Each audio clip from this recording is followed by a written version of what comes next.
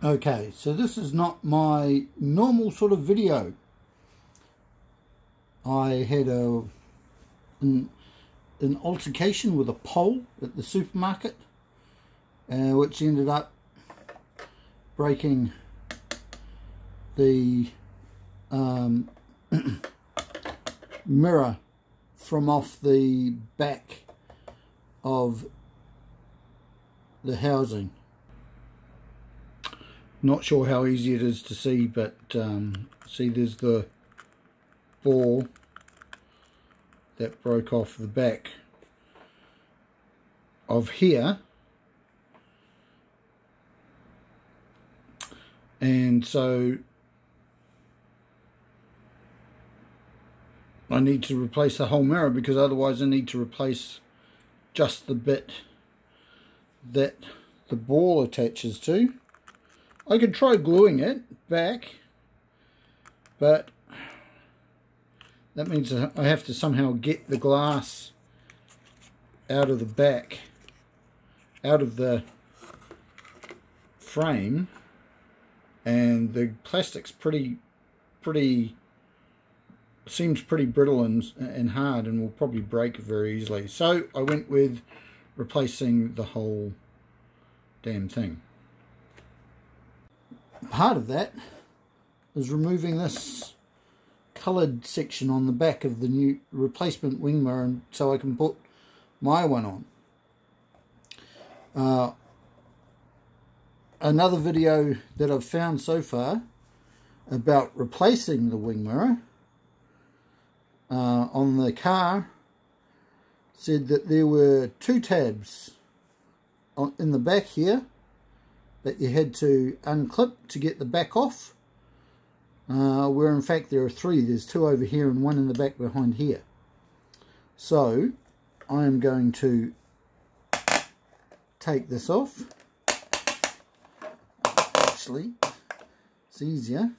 Let's do it this way.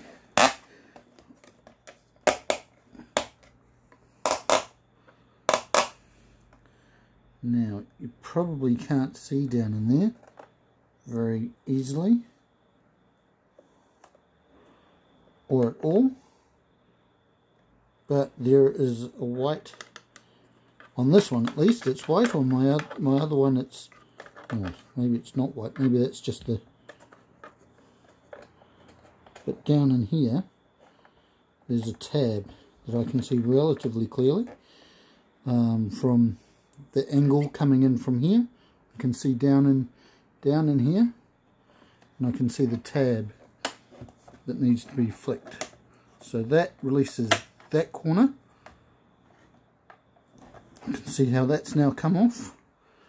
So it's a little bit fiddly because now you need to come around to this side and down in here there's another tab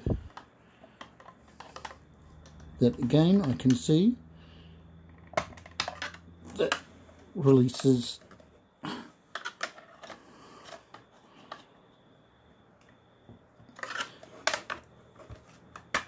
that corner. And then last but not least ugh, I wonder if there's still a big spider living in the back there that one there. And then the pop back just pops off. So there you can see the three tabs. One two three. And you can see in the back where they go. And so my new my old old correct colour for my car will just slide on the back there quite easily. The next video will be actually taking the damaged mirror from off the car because it's still on there um, which involves taking the whole card door card off because these three screws here which one is it those two you can get to quite readily by just taking the, the triangular plate off, plastic plate off. But this one is down behind the door card. So you have to take the whole door card off. Just don't take the, the mirror off. Okay, that'll be in the next part of the video. In the next video. Okay, cheers.